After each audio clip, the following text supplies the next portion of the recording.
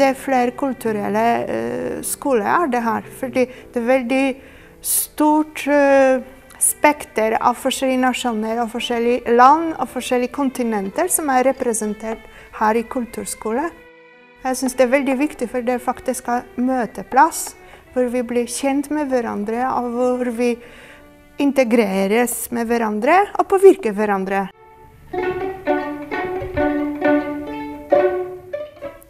Jeg kom til Norge i 1990, snart 22 år siden. Jeg er gift med en nordmann og har to barn.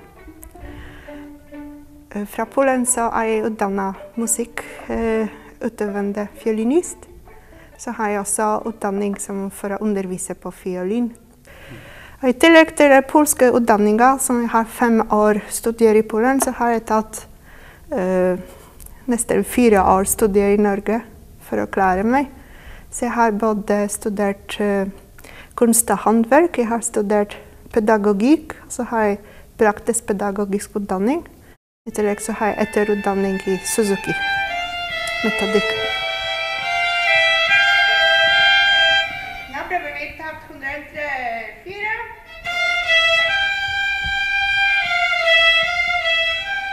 Jeg føler meg ikke særlig at jeg er fremmed.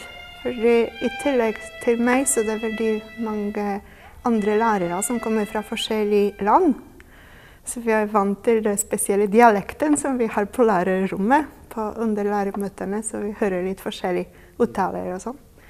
Så det er ingen som peker på at du er fremmed. Men noen ganger må vi få oversatt hva, hva, hva det handler om, for vi forstår ikke alt. Eh, det, det fins forskjellige dialekter her.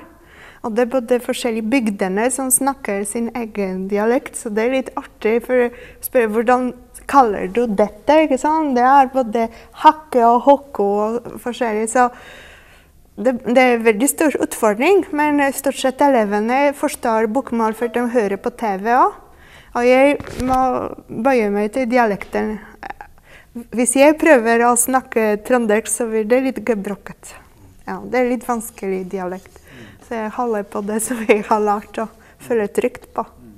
Men det er ikke problem å forstå, nei. Det går bra, syns jeg. Og dere spiller andre stemme. Tredje stemme her, andre og første. En,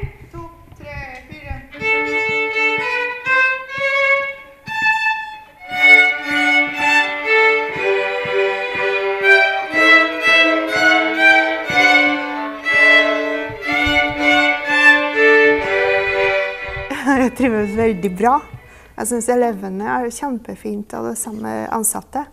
Så det Vi har litt forskjellige tradisjoner. Men det skal ikke Ulikheter skaper muligheter, ikke vanskeligheter, syns jeg. Bestandig er det som er umulig, blir mulig hvis du står på og ser litt med åpne øyne, aksepterer andres synspunkter.